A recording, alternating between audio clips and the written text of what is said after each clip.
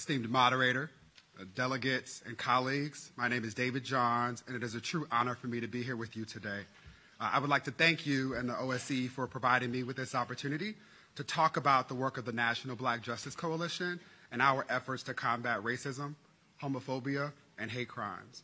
The National Black Justice Coalition is the only civil society in the United States that is intentionally and unapologetically dedicated to both racial and ethnic equity and LGBTQIA and same gender loving, a term I use to describe myself, equality.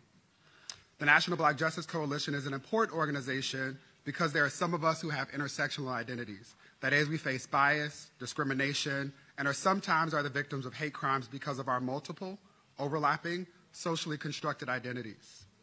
The work we do is important because too often people assume that all African descendants, all African Americans to be specific, are the same, that we're heterosexual, able bodied, and Christian, for example.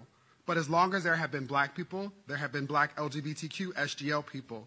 And it is important for us to highlight this fact to ensure that we can meet the needs of members of our community who are too often neglected and ignored.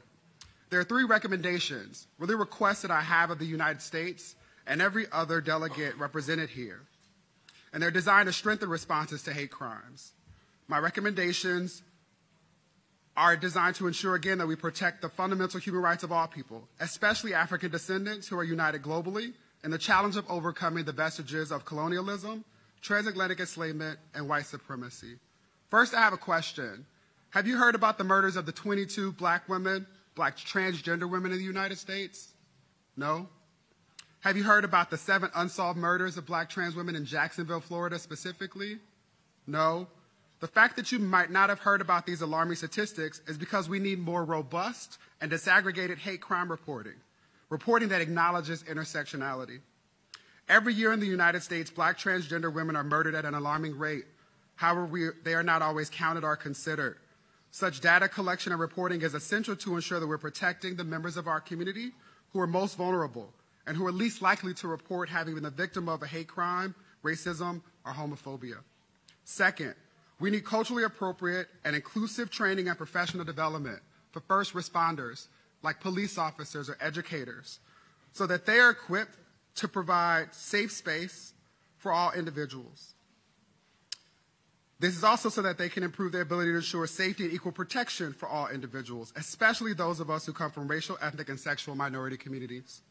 Finally, the government of the United States should invest in civil societies, nonprofit organizations like the National Black Justice Coalition, organizations that do the work of providing victims of racism, homophobia, and hate crimes with necessary support and services like counseling, legal, and social support. I hope that you all consider the National Black Justice Coalition a resource, really a partner in this critically important work. And remember that Fannie Lou Hamer taught us that none of us are free until all of us are free. And my hope is that we can get free together.